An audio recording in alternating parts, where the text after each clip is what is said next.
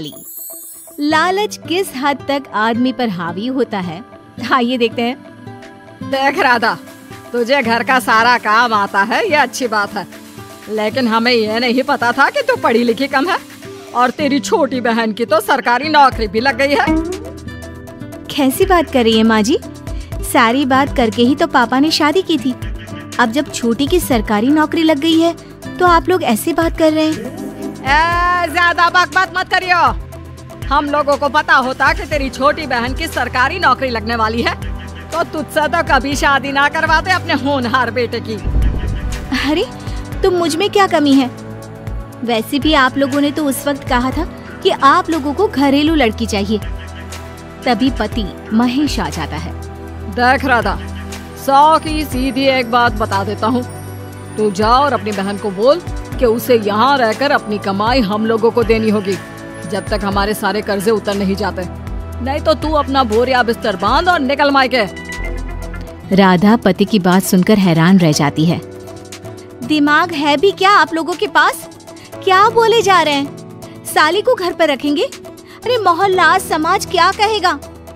और माना पिताजी को उसके पैसों की ज़रूरत नहीं है लेकिन वो अपनी कमाई आप लोगों को क्यों देगी? अरे क्योंकि हम लोगों के ऊपर कर्जे हैं। समझी?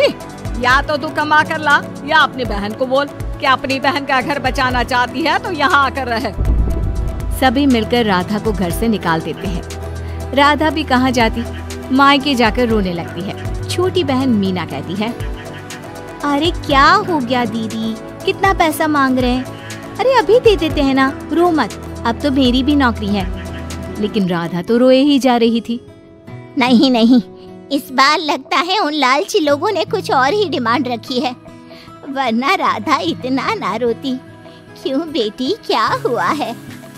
माँ पिताजी इस बार जो उन लोगों ने मांगा है ना वो सुनकर तो आप लोगों के पैरों के नीचे से ज़मीन खिसक जाएगी। ऐसा क्या मांगा है दीदी? तुझे तुझे मांगा है।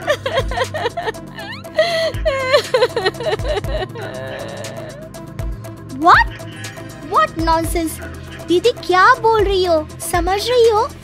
हाँ मेरी सास ये बोलकर भेजी है कि या तो मीना अपनी सारी कमाई उन लोगों को तब तक दे, जब तक उन लोगों के घर से खत्म नहीं हो जाते, या फिर मैं मायके में जाकर रहूँ यहाँ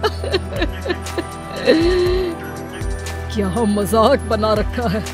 ऐसा होता है क्या कहीं? अरे शादी की है कोई आलू टमाटर थोड़ी है कि अदला बदली कर लो। छोटी बहन शांत होती है। माँ पिता बड़ी को समझा रहे होते हैं और वो रोए ही जा रही थी तभी छोटी बोलती है पापा मैं दीदी के साथ जाऊँगी। क्या? पागल है क्या? अरे दुनिया क्या बोलेगी? माँ वो लोग सिर्फ़ मेरे पैसे चाहते हैं ना। अरे वो तो वो लोग यहाँ से भी ले सकते थे छोटी। फिर वहाँ क्यों बुला रहे हैं तुझे?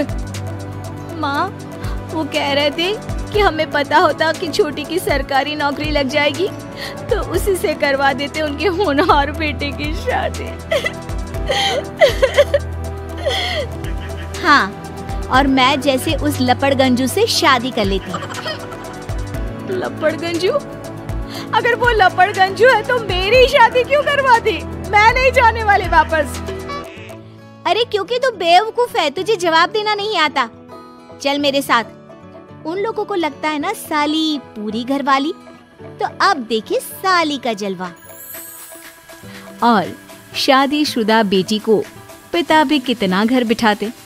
उसके ससुराल जाते हैं दोनों बेटियों के साथ। आइए आइए। ले आए अपने कमाओ बेटी।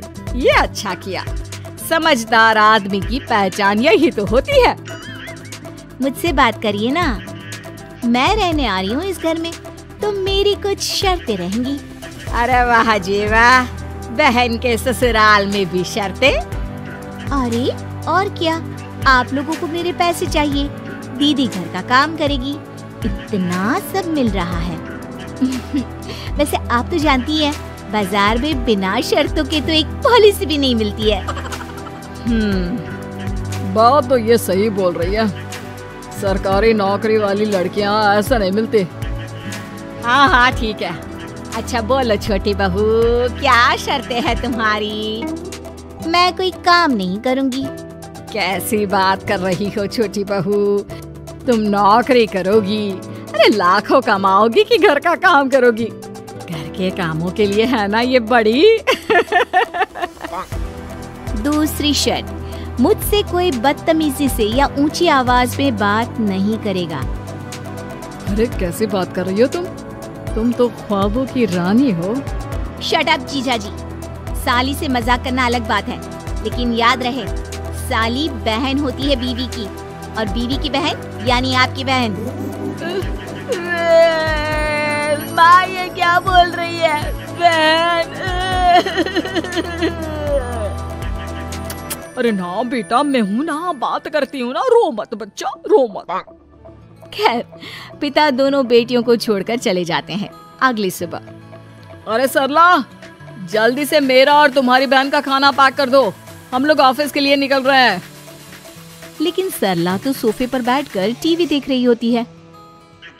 देखो जी मेरी बहन पैसे कमा रही है तो मैं क्यों काम करूँ? याद है ना मम्मी जी क्या बोलती थी कि मेरा बेटा पैसा कमा रहा है तब सारा काम मैं करती थी। अब मेरी बहन कमा रही है तो मैं भी काम नहीं करूँगी। हाँ। अरे साली साहिबा चलिए ना मैं आपको दफ्तर छोड़ देता हूँ। क्या रेपुटेशन बनेगी हमारी। हाँ हाँ जीजा जी चलिए। आज आपकी ये इच्छा भी पूरी कर देते हैं छोटी के ऑफ़िस में।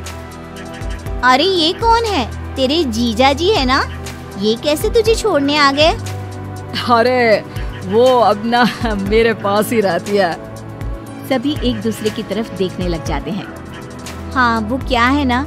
दीदी तो पता है घरेलू महिला है। जीजा जी के कर्जे ज़्यादा हैं और पढ़े लिखे इतने हैं नहीं कि कुछ अच्छी कमाई कर पाए। तो मेरी कमाई रखते हैं। बस जैसे ही इन लोगों का कर्जा खत्म हो जाएगा मैं अपने घर चली जाऊँगी। पास खड़े जीजा जी का मुँह बन जाता है। घर आकर। छोटी तुम ये क्या बकवास कर रही थी? ये सबको बताने की क्या ज़रूरत थी?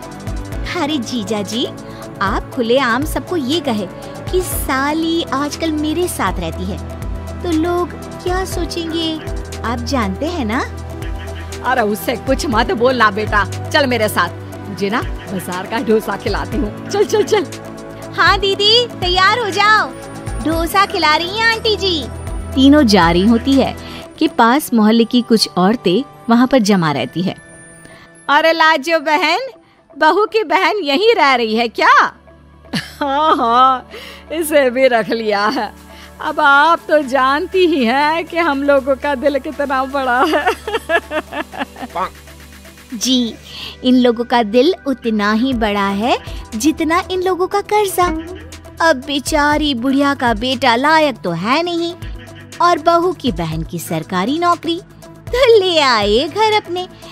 इनका कर्जा अब मेरी कमाई से ही तो खत्म होगा ना? सबके सामने सास की भी बेइज्जती हो जाती है। घर आकर सास और बेटा दोनों छोटी पर बरस पड़ते हैं। बस! मैंने कहा था मुझ पर कोई नहीं चिल्लाएगा।